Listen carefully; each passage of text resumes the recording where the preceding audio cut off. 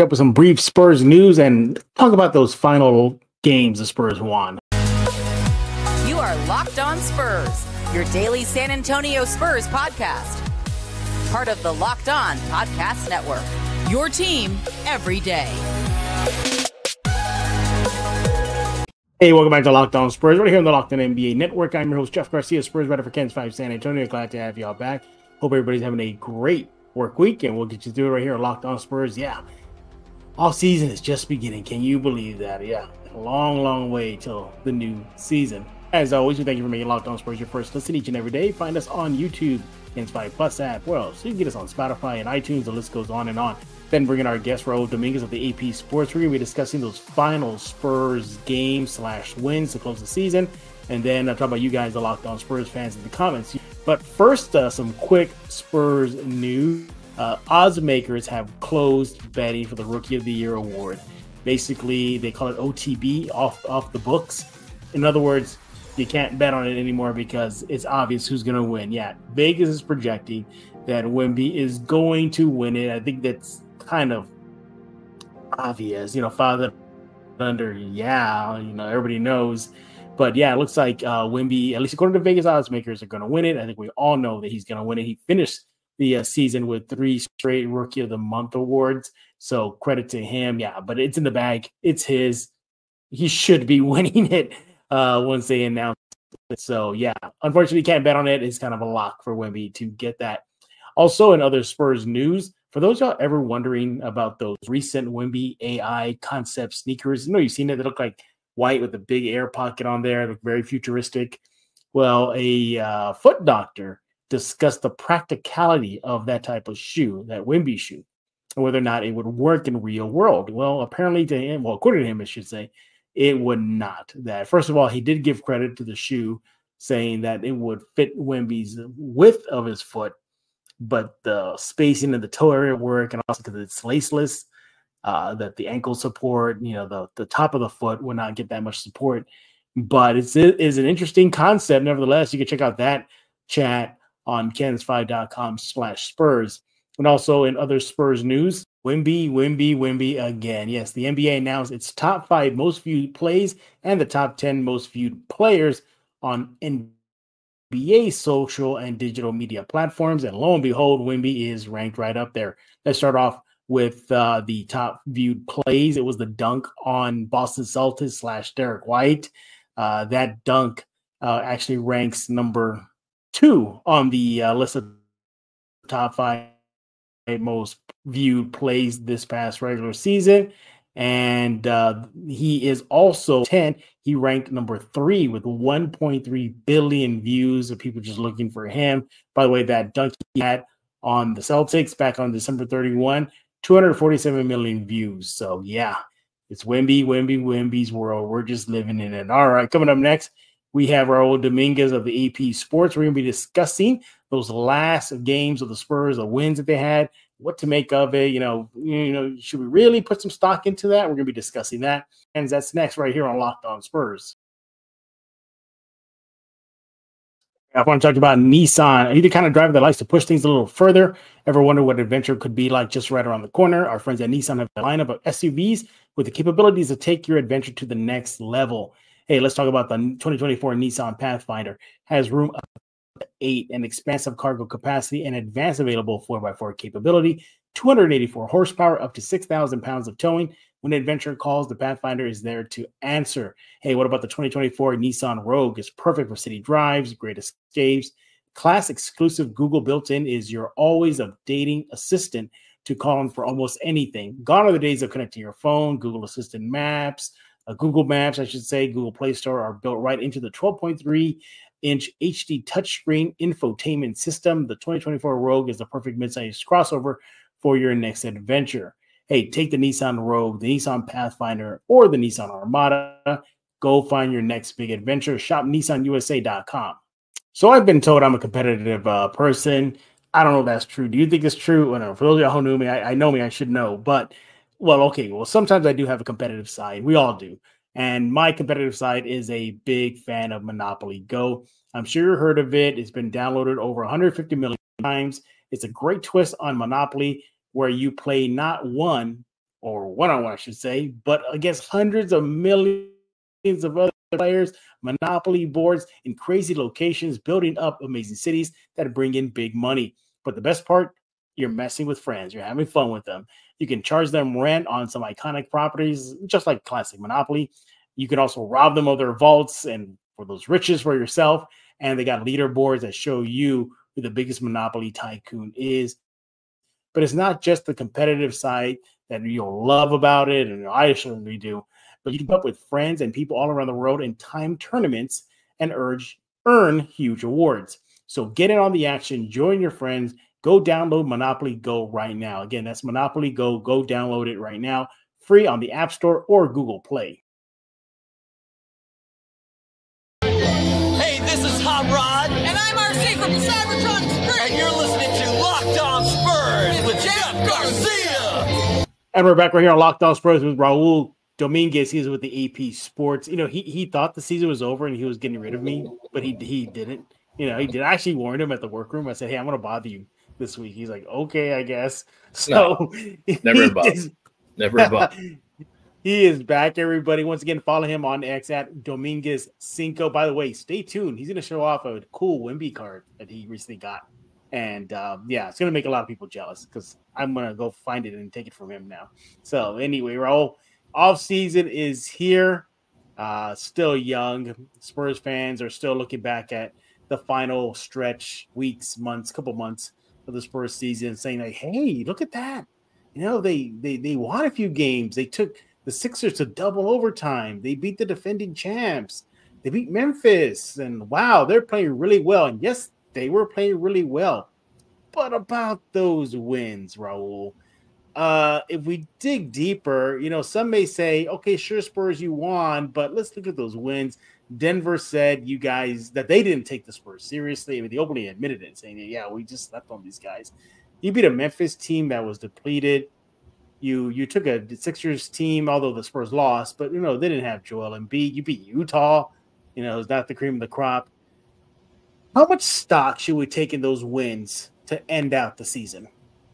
Um, I think you should take pretty good stock. I mean, okay, yeah, you know, they, they, those other teams, you know, had some issues. I, I don't think Denver so much slept on them. I think Denver just sort of figured, out, oh, you know, we'll, we'll come back and when we'll beat them. You know, the, mm-hmm. we can do this. Uh, almost like the old Spurs would. First half yeah. they tank, and then the third quarter they just kill everybody. Um, I think maybe it was a little bit, a little bit of that with Denver, but uh, the reason why I say maybe take a little bit more stock in these wins is is for two reasons. One, I mean, they were without everybody. I mean, aside from Victor, um, you know, pretty much mm-hmm. everyone, the big, you know, I think they were at one point, I think it was uh, five of their no. top seven scorers, yeah. I think, were out. Mm-hmm. Um, you know, so, you know, Victor was out there playing well, you know, and, and so the team that they beat, they beat New York when Jalen Brunson was having just an incredible game. Uh, still beat them. Um, mm-hmm you know, they, they came back and they beat Phoenix after getting throttled throttled by them. Mm-hmm. Uh, beat Denver, and Denver, regardless of what they say, uh, you know that's a championship caliber team, obviously, because they won the championship yeah. last year. Uh, they wanted the number one seed, so I don't know if they were so much slept on them. I, I think maybe uh, Spurs caught them a little off guard. I think they weren't mm-hmm. expecting the Spurs to come out that strong, uh, and, and uh, you know, one take stock one because everyone they're missing, and two because early in the season they would have lost that game, the Denver game. Oh yeah, Denver started coming back. Mm-hmm. I mean, you know that you've seen them. Uh, you know, unfortunately, we've seen them where you know late game situation where they have a big lead or, or they have mm-hmm. a lead late and then they blow it just with you know just unforced errors, you know turnovers, mm-hmm. you know um, missed opportunities, you know bad shots, you know running to the rim and you know not knowing what to do and next thing you know the team's heading the other way for a fast break. Um, so so that that's why I think you should take a little bit more stock in what they did because they they beat some really good teams who were fighting for playoff positioning, and mm-hmm. um, you know they were able to hold these leads against quality teams, even without you know Devin, Jeremy, mm-hmm. uh, Keldon uh, for much right. of it. Um, you know, I'm trying to remember who else was out. Chetty was out for a while. Osman, yeah. Osman was um, out, Malaki yeah. was out this last game, so. Uh, you know, I, I, think you should take stock because I, I, think what the, the grit that they showed is what I thought was going to be more of what they were going to be like this season. because uh, that's what they showed last season. Mhm. But for some reason, you know, it just they weren't able to show it consistently. Uh, Mhm. but here down the stretch, they did, and I, I, it's, it's a good sign. It's, it's a really good sign for the Spurs. Yeah, look, I'm not I'm not trying to rain on the parade, everybody. I'm not. You know, I know it was a down season. Any ray of hope uh, was going to be highlighted, and, and I get it. But when you look back, you're like, man, you know, the Spurs. You, you know, wish wish they would have been. I would have loved to see them at full power. You know, taking on some of those teams that they beat down the stretch. Full power, Den at versus Denver. Full power versus uh, maybe uh, Philadelphia. I think versus Philadelphia, they had a couple guys out.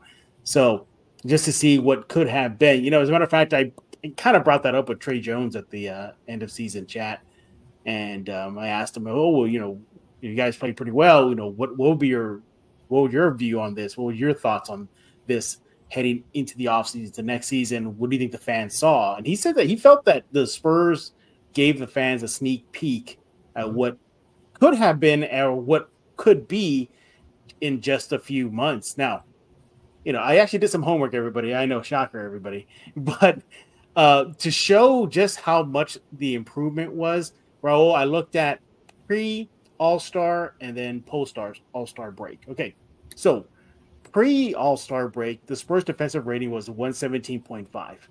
Okay, after 111.8. So their defense got a little better. This is interesting. So you were talking about holding on to leads. So again, pre and post All Star break, um, the Spurs averaged 6.9 points in clutch situations. So basically, with the, the leads, uh, you know, in there at a 2.5 plus minus differential. Now, after the All Star break, they were scoring more 9.3 uh, points in clutch situations and a 0.8 plus minus. So, right there, you're seeing the trends getting a lot better uh, for them, you know, in, in closing out games or at least holding on to games, clutch situations. And then their defense got better. I mean, perhaps you know, just simple eye test could have figured that out too. But for me, Raul, that was kind of the biggest thing is that they were working on the little things, and um, it's the numbers show it, Raul.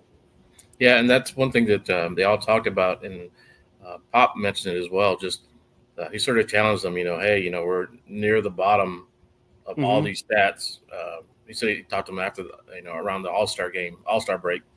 We're at the bottom. Let's see what we can do the rest of the way, and they improved. I mean, I think since uh, I think after the um, what was it after the uh, rodeo road trip, um, they were uh, eleven and twelve. You know, so you know that's Mhm. obviously a sign of progress. But um, you know, th- they, they improved dramatically. You know, it's kind of I think Mhm. what everyone kind of expected or maybe hoped for. Uh, Mhm. I don't, I'm not sure why it took them a little while. Devin had pointed out, hey, you know, it's not easy getting used to playing a guy that's seven seven foot five. So maybe that had Yeah. I'm sure that had a lot to do with it as well. But I think they just needed to mesh. Um, and I think when when some of the other guys went down, I think they sort of relied even more on on Victor. Mhm. And Victor's a heck of a playmaker. You know, I would love to see him next season. Maybe be, uh, for them to run a little bit more of the offense through him. Because uh, I mean, how many time, how many great passes do you have to Sandro for dunks and for layups? I know.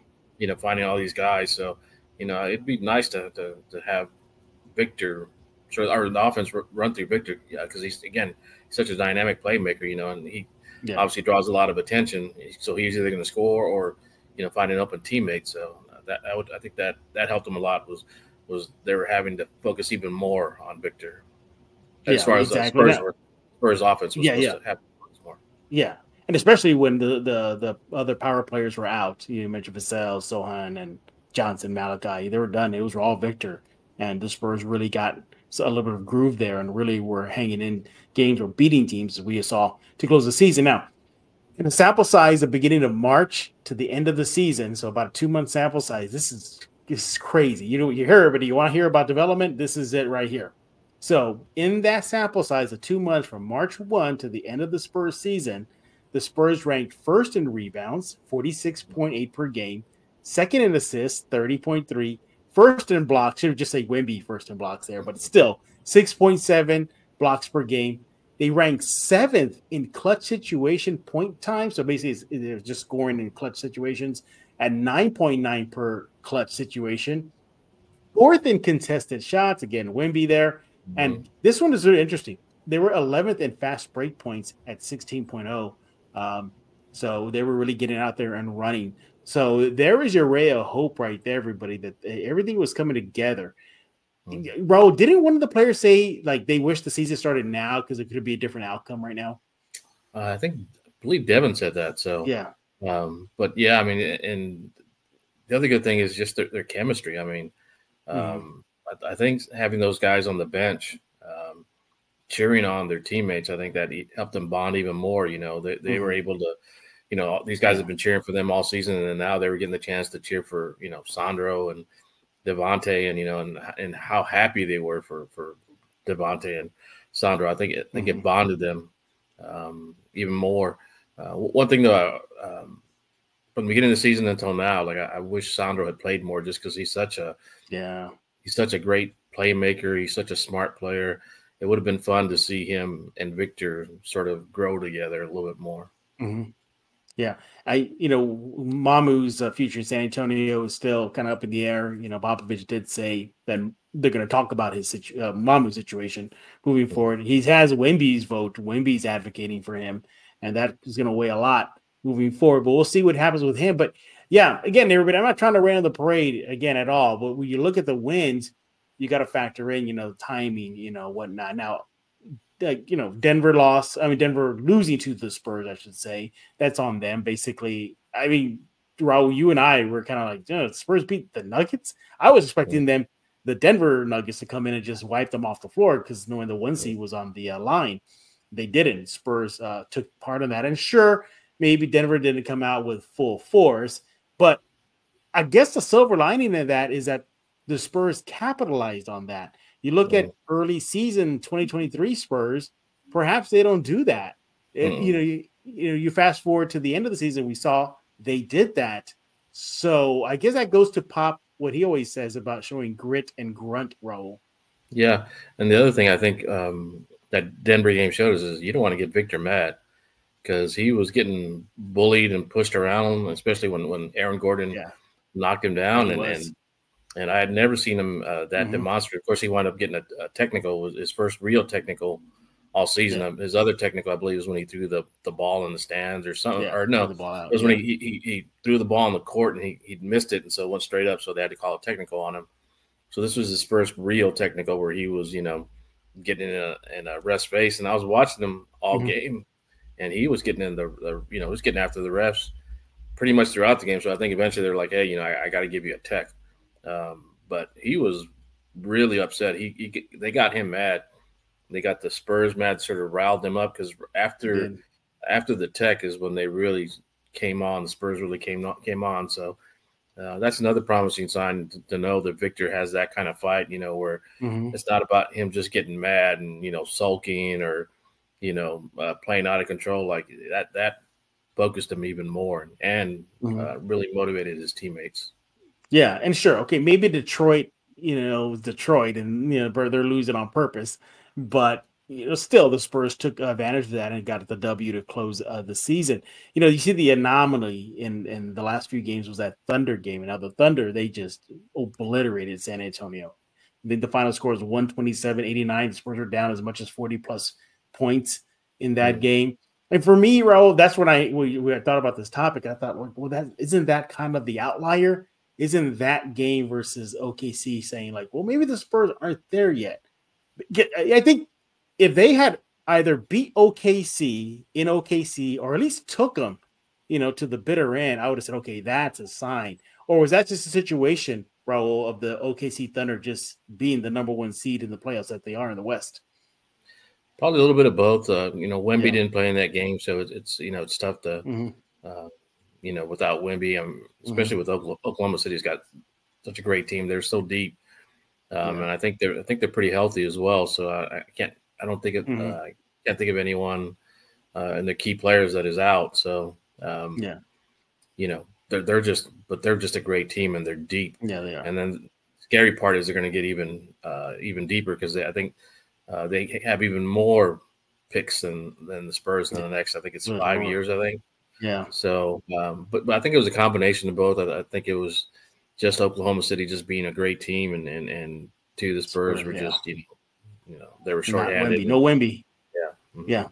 That's the Wemby effect right there. You don't have Wemby in the court. Situations like that happen, and they did happen for the Spurs. But you do, you know, one thing I liked about the exit interviews that we we were at, uh, Raul, was that all the players seemed pretty excited. I think Mhm.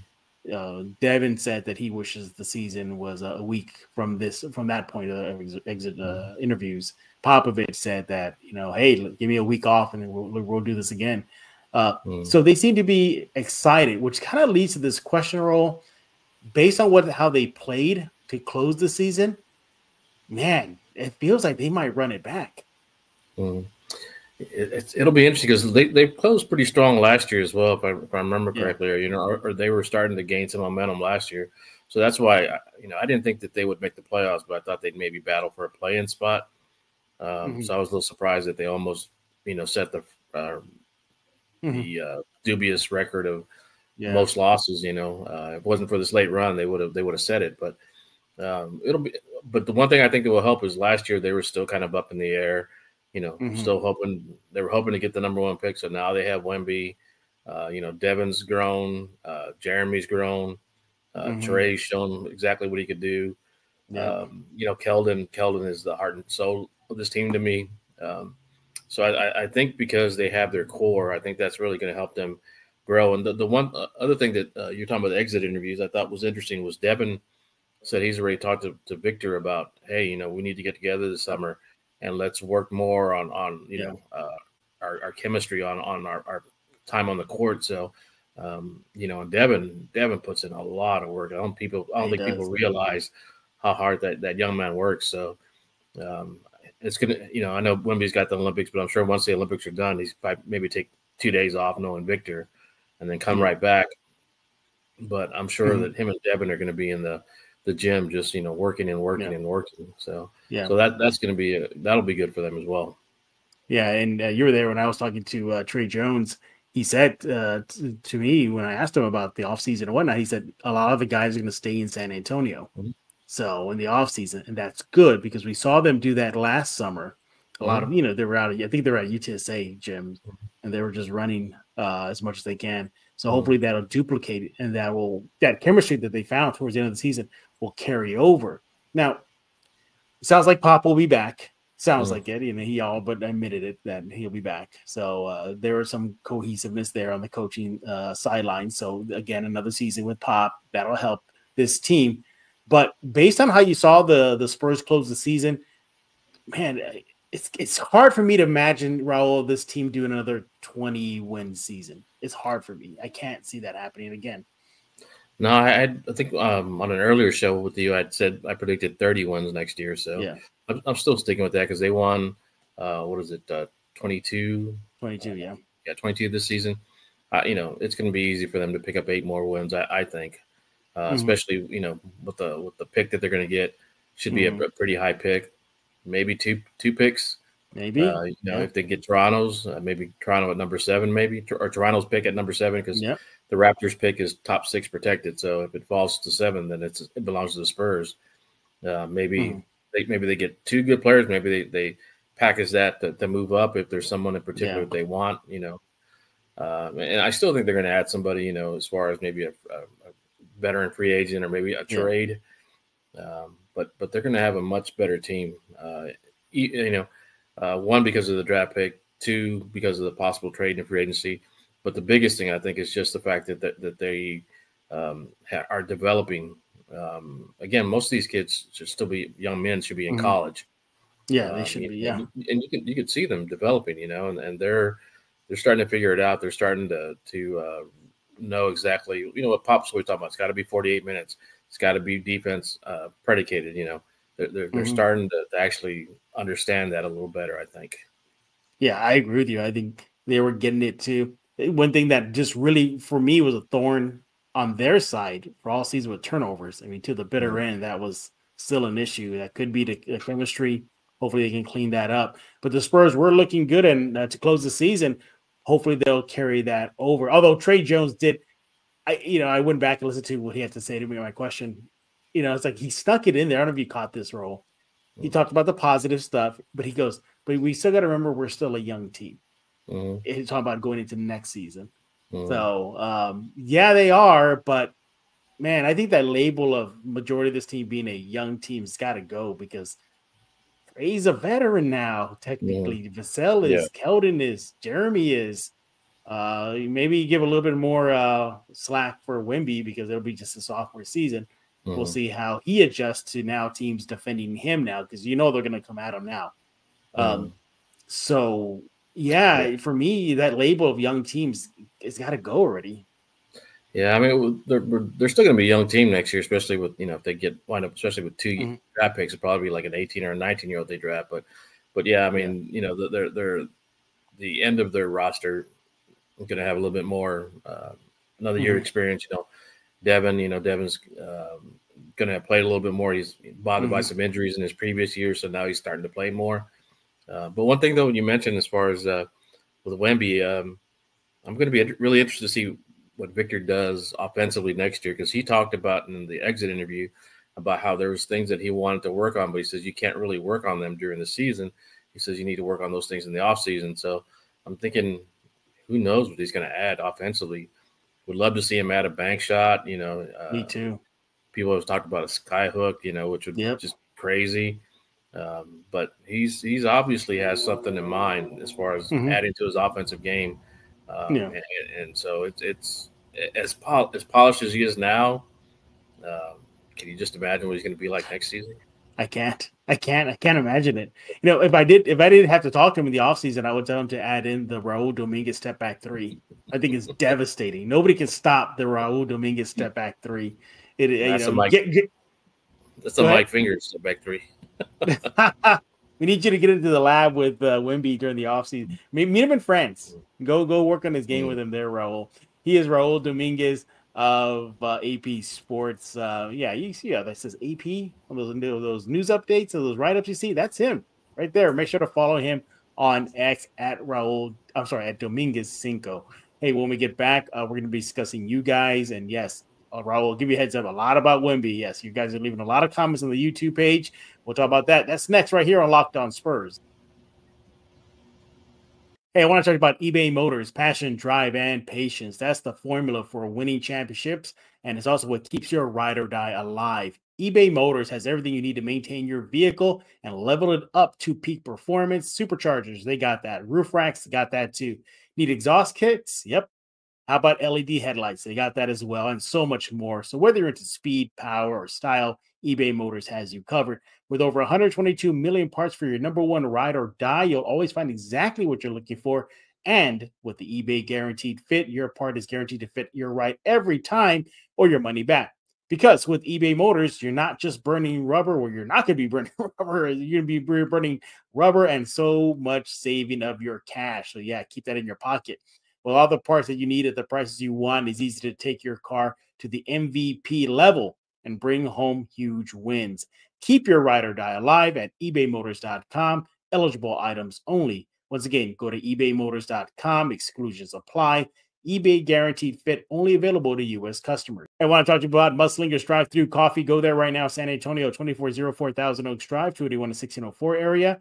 Go get yourself a great, uh, well, if you need a latte, they got that. You need dairy alternative drinks, they got that. What about a cold brew? They got that. What about their signature drink, the Muslinger coffee, to get you introduced into the world of coffee? They got that too. They also have mini donuts, and I hear they sell out pretty fast. 2404 Thousand Oaks Drive, open every single day from 6 a.m. to 6 p.m. And they got a great menu. It's very extensive, friendly staff.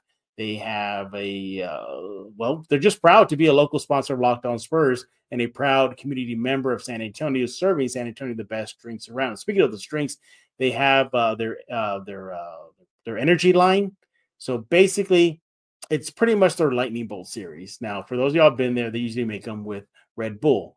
Well, now they're going to be doing it with the Lotus Energy. That's going to be the default. That's seven power plant extracts uh, that is going to fuel you throughout your day. Now, look, they'll still have Red Bull available, but uh, if you need to have a drink, one of the Red Bull, well, their infused Lightning Bolt series, uh, yeah, they got that as well. all delicious. But again, the default will be Lotus Energy 7 Power Plant extracts. But if you want the Red Bull, just tell them they'll put it in there. They'll keep those drinks will keep you charged up throughout your whole day. 2404 Thousand Oaks Drive. Go there right now. San Antonio open every single day from 6 a.m. to 6 p.m. Mudslingers Drive Through Coffee, your place that you want to go for the best drinks in San Antonio. Go there right now because life is too short for bland coffee. And we're back on Locked On Spurs, where Raul Dominguez, the meanest three point shooter in San Antonio. Don't crowd his space. He just don't knock it down on your face. Make sure to follow him on X at Dominguez Cinco. Is that true? Is that here you got the meanest three point shot? You have a silky smooth shot from Raul Dominguez? No, that's that's Mike Finger. You got the wrong report. I, I used to play with against Mike in the UIW gym, and man, that guy could shoot. He couldn't rebound, but he could shoot. Shots fired, everybody. All right, follow him on X at Dominguez Cinco. Hey, it's your turn, everybody. You guys are leaving a lot of comments on the Locked On Spurs YouTube page. Wish we could talk, get them all down and address them all. We just can't. So we're going to just pick two. So the first one is Shocker, Wemby, Wemby, Wemby. And this one's, by the way, you and I will appreciate the, this person's uh, username Jedi Tricks. Bravo. Good, good, good name there. He says, Yo, Wemba, or Wemby, I guess he meant, is getting DPOY. Relax. Hate to break the news to you, Jedi Tricks. I uh, wish you could use a mind trick on the voters. You know, that'd be awesome. But it looks like Wemby's probably not going to get that award, is he, uh, Raul? You know, it doesn't look like it. He, he he should get it. He deserves it. He deserves it. Yes. But um, it, the voting is always so weird. You know, I, I, think they they try and like have these um, unofficial, you know, these unofficial rules or whatever. You know, like oh, you know, it's got to go to a player that's you know on a winning team or, or this or that. Um, I, I, think that's going to hurt them. You know, obviously with the Spurs record and Minnesota mm-hmm. doing so well. Uh, but somebody pointed out something great. It's like you know, you know that sort of unofficial you know um, rule. You know, you got to vote for the the, play, the best mm-hmm. defensive player. You know, or a defensive player. Um, you know, that's on a, a, good team or a winning team. Tim never won defensive player of the year, and he mm-hmm. was always on winning teams. You know, twenty two straight seasons that they were you know, uh, playoff bound. You know, I think what twenty or twenty one with with him. Um, but anyway, but he never won Defensive Player of the Year. Mm-hmm. So it, the rules always seem to change. They always kind of seem to maybe fit the whatever narrative that they they yeah. want. You know, um, but you know, to me, there's no question that that Victor yeah. is the Defensive Player of the Year. You know, it's, it's not just the stats; it's it's what he does on the court. Mm-hmm. You know, I mean, uh, I think it was Oklahoma City. They had a three on one break uh, you know, you, you're supposed to attack the basket, you know, and like they're playing hot potato near the free throw line. No, no, you get it. You know, they kept passing it back and forth, and then they want to pass it to a, for a three point shot. You know, uh, I, I, I can't remember the last time I've seen anyone do that. You know, usually they'll attack. You know, and either either get the points, draw a foul, or you know at least make an attempt. Like they didn't even try.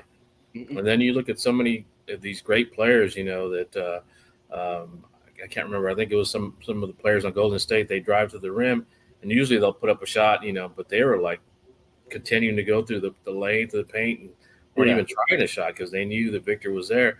And to me, that's why Victor should be def- defensive player of the year. Not not just his stats, but the way he changes other people's offense. Like, you know, and then when when guys uh, are able to, to get a shot up, shot up on him, it's usually something weird. You know, like they'll throw like mm-hmm. a little hook or They'll do a bunch yeah. of fakes. Like you know, they have to really work for their shots. Yep. Uh, and it's Victor's defense that is making them do that.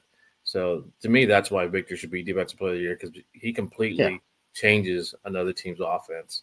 And you know, all, all due respect to Rudy uh, Gobert, he's a tremendous defensive player, but to me, he he does not have um, three quarters of the impact that yeah. that uh, Victor does.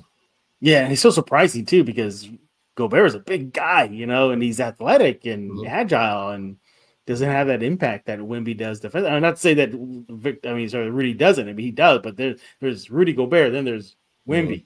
There's a whole other level. Mm-hmm. It just levels up there. You know, wasn't that the game against Memphis where it was like a three on one and Wemby was defending the rim and like every guy was trying to pass it up, like you go, no, you go, no, mm-hmm. you go. I, I mean, that just tells you exactly his impact. And for me, what clinches it for me is the on off the defensive rating on off. You know, mm. we know what the numbers are. Everybody all know. I don't have to repeat them, but you know the big difference. in the Spurs defensive metrics when he's on the court or off the court. It's Mhm. astronomical. I mean, it's a night and day. And to me, that cinches it. Um, but that, that's a good point, though. Yeah, Timmy never won it, but yet he was always deep playoff pushes, winning titles, but Mhm. never, ever, ever wanted it. If Somebody told me that when I brought their attention, I said, you know, did uh, Tim Duncan never a DPOY? And know what their reaction was? Was I just thought he did. And I, Mhm. I wonder if that that was kind of the sentiment through when when Timmy was playing. Was just, oh, I just thought he did because he was so good. Mhm. Yeah, I mean, it, it, it was odd to me because I didn't even realize that until after um, Yeah. his career was over, and then someone pointed that out, and I was just like, "Man, you're right. He never won it." And Yeah.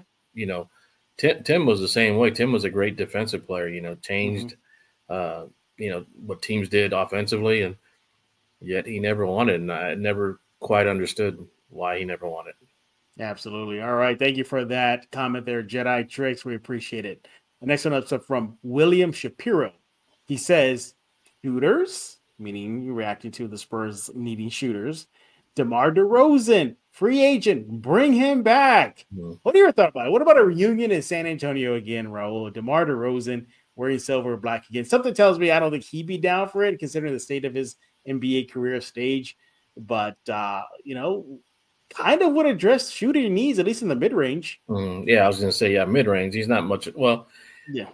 Demar, Demar could be a three point shooter, but that's not his strength. I, I think he knows what his strength is, so he, he, he prefers the mid range game. But um, I, I love Demar. I think Demar is a great player, but even more so than a great player, he's a great person. You know, yes. uh, Mhm. just tremendous uh, person. You know, great teammate. So if, if they were to bring him back, that that'd be amazing. Um, if if they could, if they can, I, I would I would certainly do it. But Mhm. I think you have to to think about um, kind of how we would fit. You know, the, the salary cap and what they'd have to spend for him.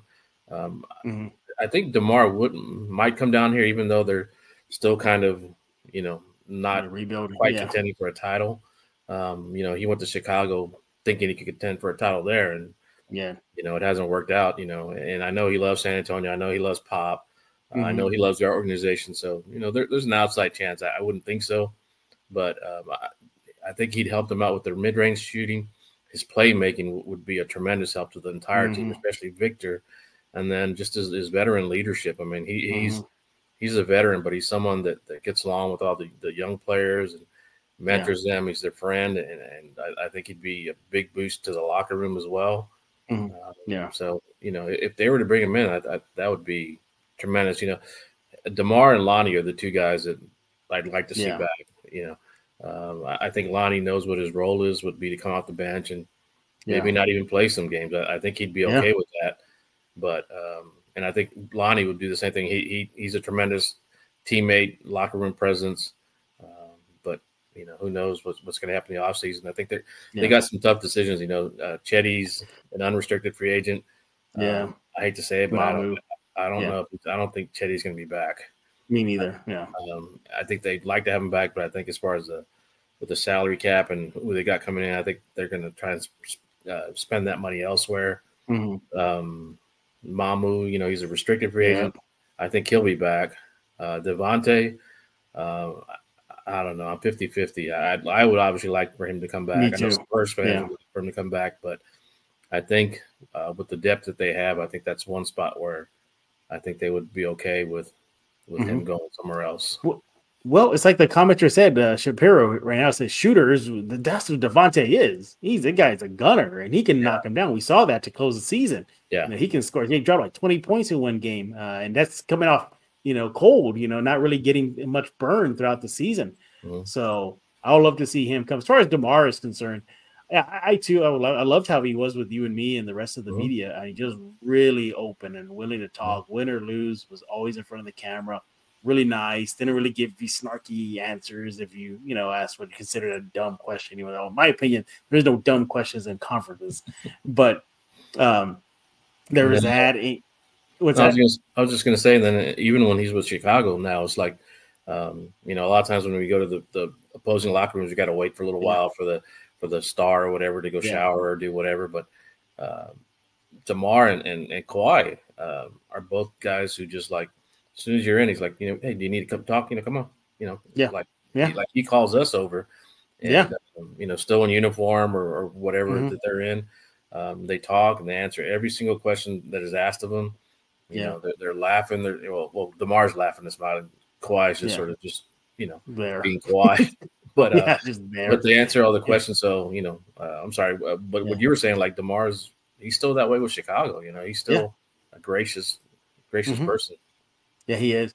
Uh, and I missed that about him, just talking to him. I mean, remember, everybody, you know, everybody talk about San Antonio being a small market. You know, athletes can't do much here.